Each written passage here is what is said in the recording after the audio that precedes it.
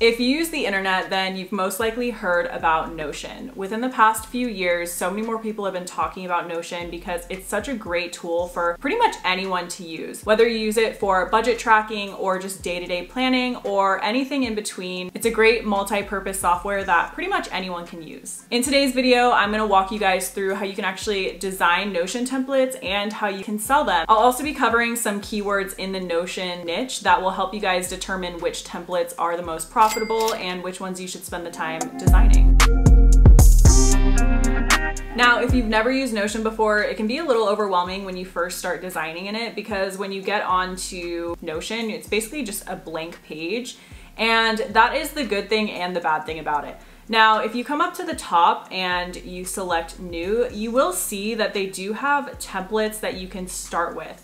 So if you have no idea what you're doing, then this might be a good option, but I will run you guys through how to actually design something from scratch because I find that using the template sometimes can be a little overwhelming, it kind of adds more stress into the equation. So first things first, you're going to start with a page like this.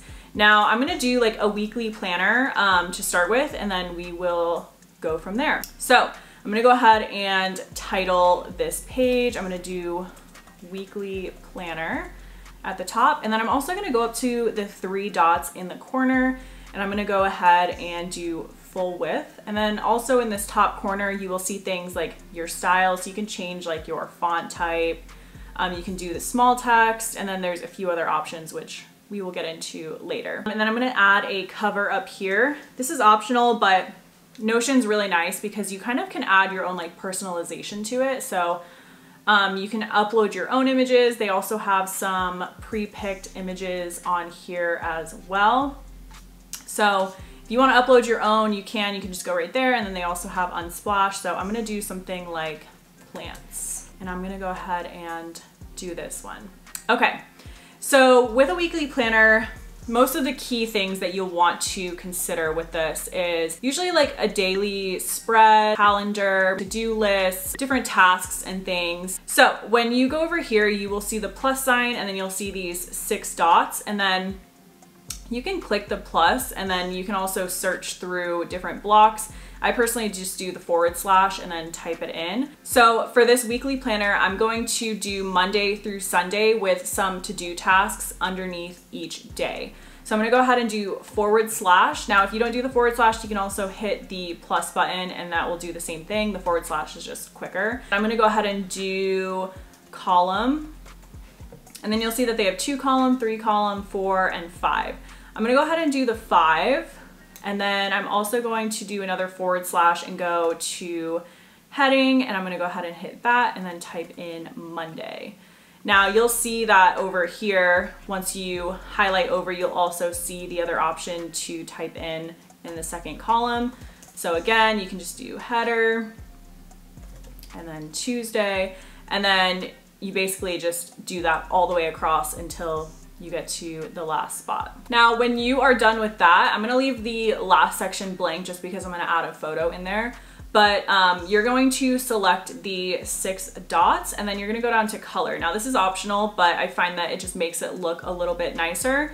And you'll see that you can change the um, text color and then you can also change the background color. So if you wanna do green and then say that, I'm just gonna do green all the way across, but you can basically experiment with this to do any colors that you feel like would fit with your theme. And then you're gonna do the same thing again where you're gonna add the columns in. So however many columns you did, you're going to add that. So I'm gonna do five again. And then I'm gonna go ahead and add the to-do list and then you can see I did forward slash and then type in to do and it will prompt that. And I'll just go ahead and put to-do list here, but obviously whoever is using this template will fill it out with whatever things that they have to do for the day. Now on the side, I'm just gonna add a photo just for the aesthetics. Um, you can do anything that you want over here, or you can just leave it completely taking up the entire width of the screen, but I'm gonna go ahead and add a photo real quick. So again, you can either do the plus or you can hit forward and then forward slash and then type in image. Okay, so this looks pretty good so far. We have a Monday through Sunday with their to-do list underneath. Now I'm gonna show you guys how to do a habit tracker because I find that these types of templates that include a habit tracker are really popular, especially on Etsy and Gumroad. Those are really the top sellers that I personally see. So um, there's a few ways to do this, but I'm just gonna run you guys through the way that I personally do this. Um, I won't really get that far into it. There's tons of other videos that are really more in depth with different formulas and codes and stuff like that, but I'm gonna just keep this as beginner friendly as possible. That way everyone can do this. You're gonna do forward slash and then table view. And then you can type this as, you know, habit tracker, whatever you wanna call it. So I'm gonna hit new database and I'm gonna go ahead and resize this. So what you're gonna go in and do is add the different habits that you would like to track. So this can be really anything. I'm just gonna go ahead and list a couple of random ones.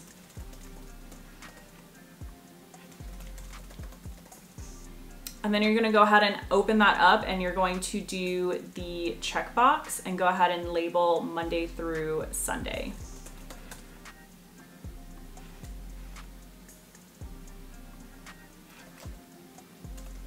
And you'll see once you have all of your habits and Monday through Sunday or whichever days you choose to do, it will look something like this and you're basically going to hover over and just drag everything so you don't actually see the name of the date. You'll just see that it's the checkboxes for the entire week. And I personally like to hide the name of the table. So you just click the three dots and then you'll hide the database table. And you can go in and add different icons for each type of habit. This just makes it look a little bit better in my opinion. But again, it's personal preference. You don't have to do this. So just go in and you can add your icon up here. Um, they do have emojis. They also have icons that you can choose from, or you can upload your own custom ones if you want to do that as well.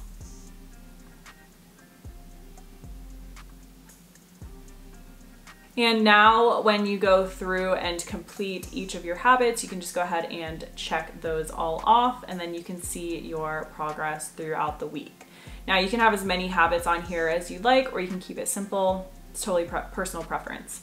So now that we have our weekly spread with our to-do list and our habit tracker, let's maybe add a couple note sections and the calendar. Now, if you wanna resize things in Notion, all you have to do is find the little gray line that comes up when you hover over and you can just drag that over and that will help resize everything to either make it smaller or stretch it out. I'm gonna go ahead and add another column. I'm gonna do two columns and then I'm gonna do forward slash again and then calendar. And this is going to open up another data source. Over on this side, I'm just gonna add a little notes section where people can just jot down any sort of notes that they have or things that maybe they just wanna remember throughout the day. So um, I'm just gonna do another heading. I'm gonna do heading three, label this notes, change the color again to match the ones up at the top. And then down here, I'm just gonna fill this with random text. Okay, so now that we have that done, I'm gonna go ahead and add in a table where people can track their progress throughout the week as far as different projects go. So whether they're a student or a small business owner or anything of the sort, then this would be appropriate for them. So I'm gonna go ahead and do forward slash, I'm gonna do table, and I'm gonna do a table view, and then I'm gonna just label this projects, and then new database, and then I'm gonna go ahead and delete or just hide the name. And I'm just gonna go in and add different tasks that someone might have throughout the week.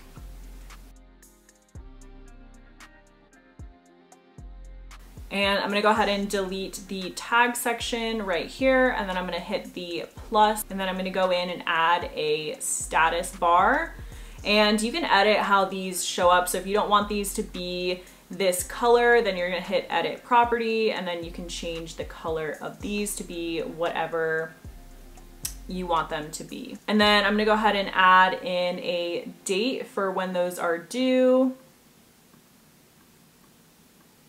And in this last section, I'm just gonna add text as far as maybe some important notes that someone needs to write down for the project or anything that's relevant to the project that they need to put over here. All right, and that is pretty much how you would design a weekly planner in the most simple way in Notion. So you'll see over here, we have everything as far as to-do lists, things that they need to do throughout each day. They have their daily habits, they have top priorities, they have a notes section, they have the calendar, they have a grocery list, and then they have all of their tasks that they need to get done throughout the week right here.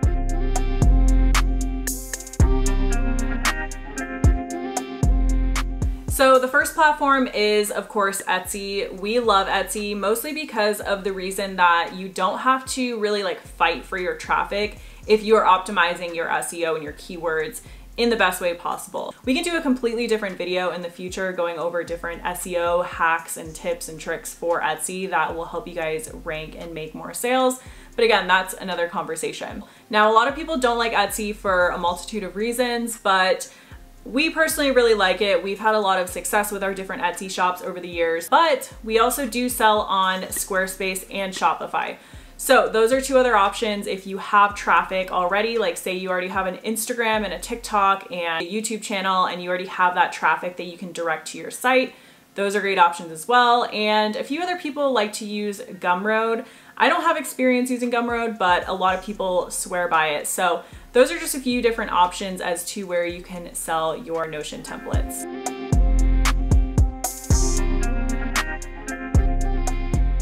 This is something that I didn't know how to do when I first started selling Notion templates and back in the day it was kind of hard to find the information on how to do it. So what you're gonna wanna do once you are finished with your Notion template is you're gonna go up to the three dots in the corner and you're gonna go ahead and duplicate this first and foremost, just to make sure that you have a master file, just in case anything happens, but just make sure that you duplicate that.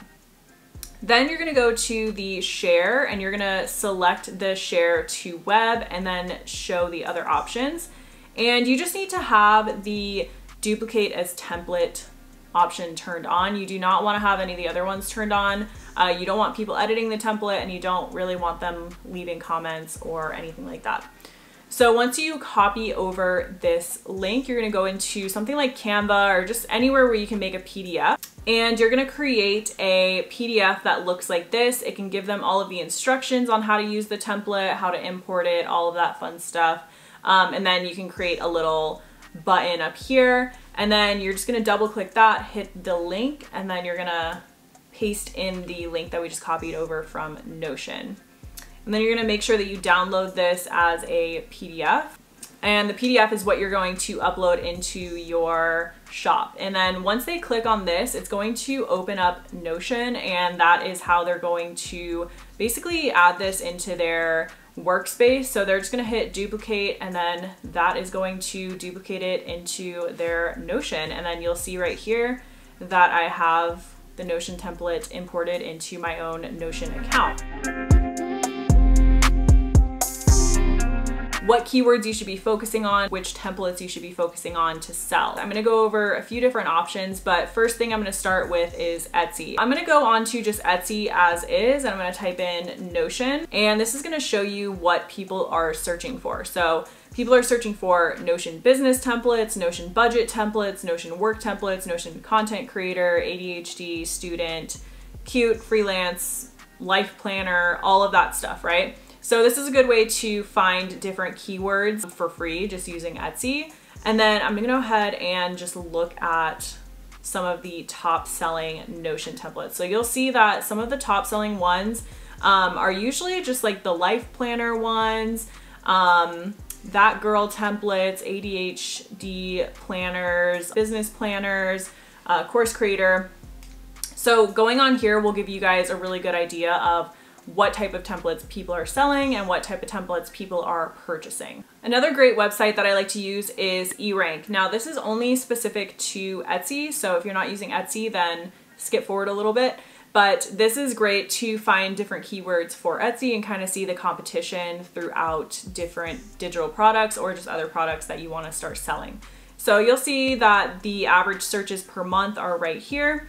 And then when you scroll down, you'll see all of the data for all of the keywords right here.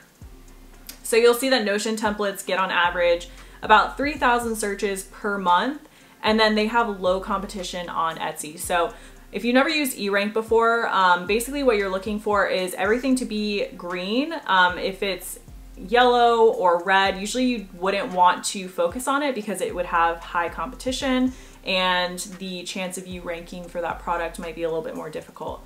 Um, so you'll see right here that people are searching for Notion dashboard, which is kind of similar to what we were creating earlier, basically just a dashboard of where people can overview everything that they need to do. Um, they may have different links to different pages throughout their Notion template, but it's kind of the same, same idea. Um, you'll see that Notion Planner, that gets a decent amount of searches per month and low competition. And then Notion Template Business, same thing, decent amount of searches, low competition. Another website that we really love using is Ubersuggest. And you will see things like Notion project management template, Notion templates for students, Notion dashboard templates, Notion recipe templates. The list goes on and on. And you'll also see the volume of searches right here. And you can also sort these. So obviously a lot of people are searching for free templates, but aesthetic templates, that's a good keyword to put in your listing is Notion, like aesthetic Notion template. Um, a lot of people are also searching for student planners for Notion and budget templates as well. Something that we like to keep in mind is for the volume, even if you're getting 1% of those sales, I mean, you would still be getting 13 orders per month if you were only getting 1% of the searches for say the budget template. So using a website like this will give you insight to a lot of different keywords that you can help when you are creating your listings and also just different templates that you can make.